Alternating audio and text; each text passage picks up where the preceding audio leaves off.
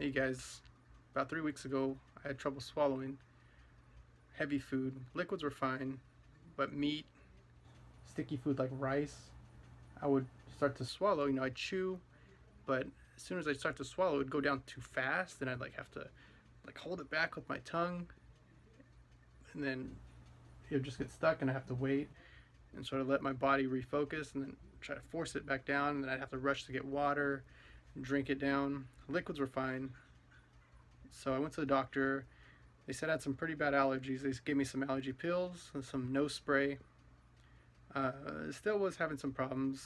So I went back and they said that they would do some tests. They sent me to get an x-ray done and the x-ray was a barium swallow test and I would drink some barium. It's like a thick liquid one was watery, the other liquid was pretty thick like a milkshake. And I would lay on a table, I, I would swallow the liquid at various angles, on my back, on my side, and they would just see how everything was going.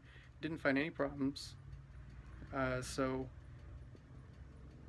I went back and the whole time still taking my nasal spray, still taking my allergy pills. So it was kind of getting a little better when I went back to the doctor after the barium swallow test. I got there. Uh, they said, you know, keep taking your allergy medis medication.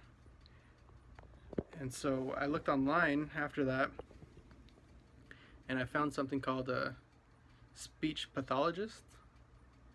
I think that's right. And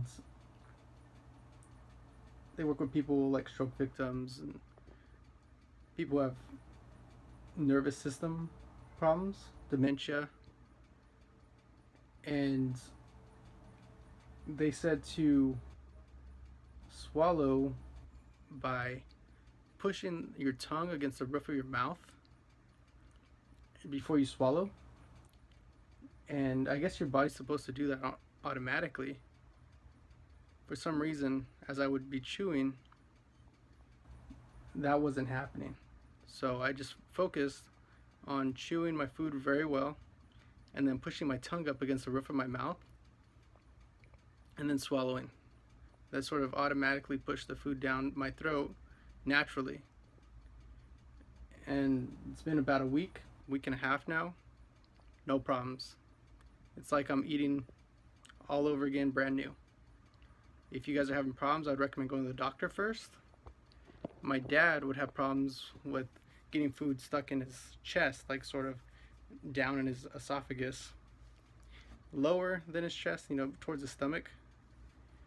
Did the barium swallow test, still no, nothing found there. On him, it turns out he had esophageal cancer. So my problem went away just by training myself how to swallow again.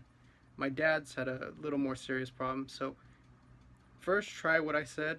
If it's if it's just getting stuck up top, you know, just in your mouth, it really didn't get stuck with me. I just had problems swallowing, right? If it's getting stuck in your chest or, or down lower, go to the doctor. I would recommend going to the doctor either way. But I'm saying mine would just, you know, I just had a problem pitching, it's called, just pitching the food down my throat. Uh, but it went away with that simple trick by just pushing your tongue up against the roof of your mouth and swallowing and chewing your food really well, making sure you got a lot of water. And that's it.